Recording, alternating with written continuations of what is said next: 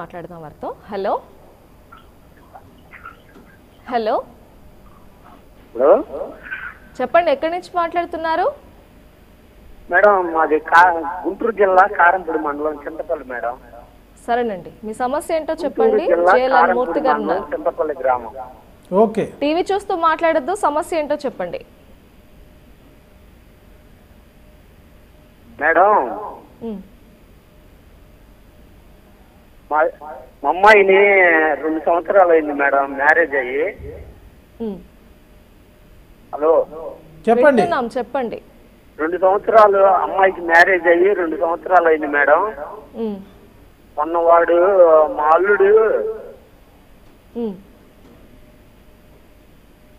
మా అల్లుడు మొన్న నాకు ఒంట్లో బాగాలేకపోతే అమ్మాయిని మీ నాన్న చూసొద్దాం రమ్మని తీసుకొచ్చి ఉమ్.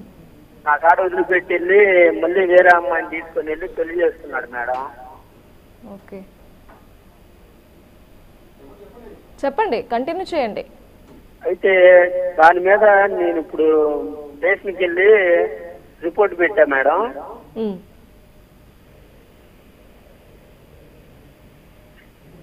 ఏం చేయాలనుకుంటున్నారు? మీకు ఏం కావాలనుకుంటున్నారు?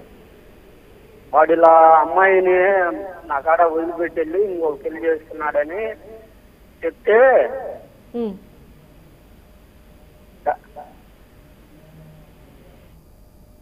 ఓకే ఇప్పుడు ఆ పర్సన్ ఎవరైతే ఫాదర్ ఉన్నారో తను ఏం చేస్తే ఆ అమ్మాయికి న్యాయం జరిగే అవకాశం ఉందంటారు బైగమ్మి కేసు అమ్మా ఇది రెండో పెళ్ళి చేసుకున్నాడు. అతనికి నీ కో కంప్లైంట్ ఇచ్చి ప్రూఫ్ కోర్టులో చూపిస్తే ఎఫ్ఐఆర్ ఫైల్ చేయాలి పోలీస్ వాళ్ళు కూడా ఓకే.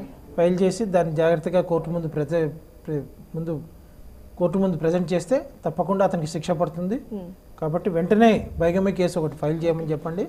సో రెండో పెళ్ళి చేసుకున్నారు కాబట్టి శిక్షకి శిక్షా స్మృతులు ఉన్నాయి.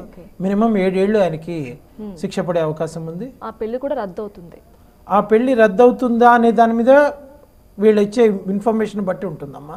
కొన్నిసార్లు ఇన్ఫర్మేషన్ వీళ్ళ దగ్గర ఎవిడెన్స్ తక్కువ ఉంటుంది. సో అవన్నీ చూసుకొని ఆ పెళ్ళి రద్దవుతుందో లేదని కోర్టు వారు డిసిషన్ తీసుకుంటారు.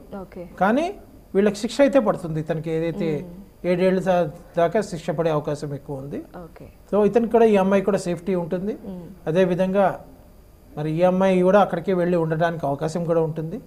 సో ఇవన్నీ ఆప్- ఆప్షన్స్ మీరు కోర్టులో వివరించుకుంటే తప్పకుండా మీకు మంచి జరుగుతుందమ్మా.